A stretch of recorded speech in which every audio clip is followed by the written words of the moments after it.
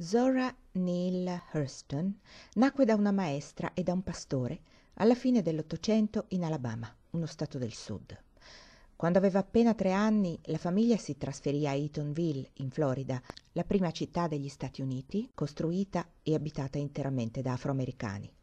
Lì suo padre fu eletto sindaco e lì la piccola iniziò a ricevere la sua prima educazione. Utilizzò i racconti che aveva sentito a e le incredibili storie narrate dagli anziani del paese nel porticato dell'Emporio come materiale per la sua prima opera. Nel romanzo I loro occhi guardavano Dio che vogliamo proporre, Zora ripercorre la fondazione di Eatonville e prende spunto dalla figura paterna quando descrive il marito della protagonista Jenny come suo primo sindaco. Un uomo che da un lato ha il carisma e l'intelligenza per organizzare i neri, divenendo il loro leader e guidandoli nel creare la loro città, dall'altro è profondamente maschilista.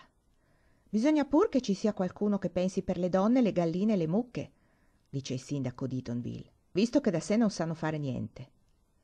Un uomo che cerca di dominare la moglie Jenny, nemesi della stessa Zora, finché lei non tace, finché, scrive, lo spirito del matrimonio esce dalla camera da letto e il letto stesso diventa solo un mobile dove lei si sdraia a riposare.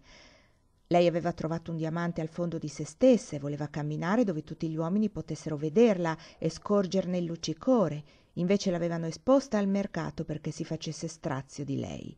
Sono parole di Zora, che come Jenny, sua nemesi e personaggio del suo romanzo, è ben lungi dal farsi sottomettere.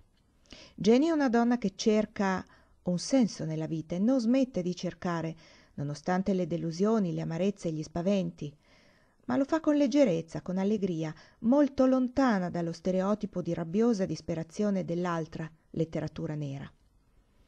Quando Zora lasciò la famiglia, fece la guardarobiera per una compagnia teatrale, la badante e la manicurista presso un barbiere per bianchi. Fu allora che per la prima volta scoprì cosa fosse la segregazione che, data la sua provenienza da una città di neri, non aveva mai sperimentato. Nel frattempo studiava e scriveva racconti.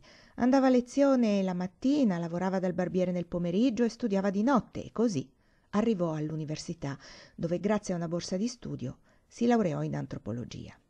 Nel frattempo riuscì a pubblicare i suoi racconti, perché ci fu sempre chi notava il suo talento e l'aiutava ad andare avanti. Vinse premi e concorsi e cominciò a essere conosciuta. Fu proprio durante le ricerche sul campo per il suo docente di antropologia ad Harlem, a Eatonville, in Louisiana, in tutta la Florida, ad Haiti e in Giamaica, dove lei si integrava nelle comunità nere, che raccolse il materiale che poi sapientemente usava nei suoi romanzi, ma anche studi antropologici ed etnologici molto seri e importanti testimonianze di folklore. Divenne una tra le scrittrici afroamericane più influenti della Harlem Renaissance, un movimento di grandi fermenti creativi che coinvolse ogni espressione artistica, valorizzando la ricchezza dell'eredità africana, i suoi racconti di folklore e il dialetto afroamericano, così come lei lo sentiva e documentava, pieno di insulti e di frasi colorite.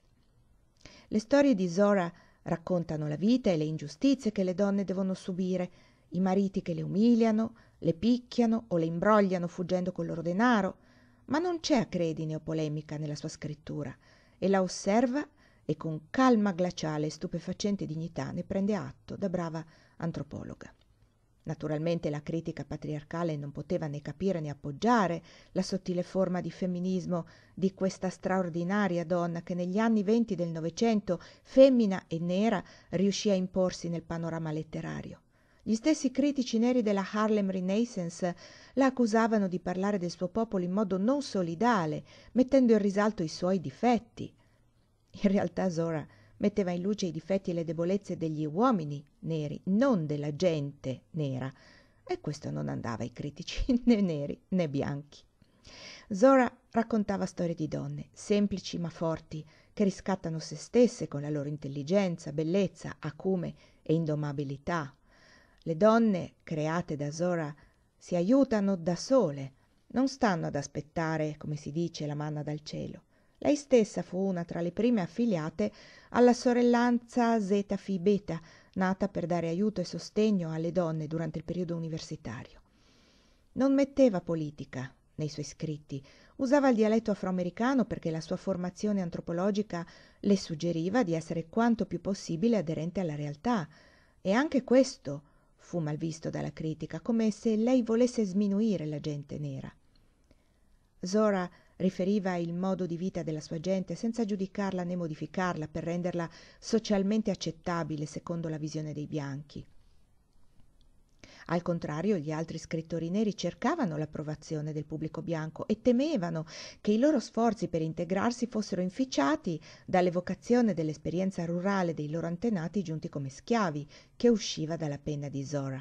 Lei invece era convinta della vitalità e delle potenzialità della gente di colore e si oppose alla legislazione che forzava l'integrazione dei neri nella cultura bianca, rimanendo così isolata dagli altri afroamericani che viceversa volevano l'assimilazione. Contemporaneamente un'altra coraggiosa grande donna, la cilena Gabriela Mistral, Nobel per la letteratura, predicava nell'America meridionale che la cultura insegnata nelle scuole fosse dovesse essere quella nativa, non quella europea impartita dalle maestre tedesche, e insegnava al pueblo ad essere orgoglioso delle sue radici culturali e delle sue tradizioni.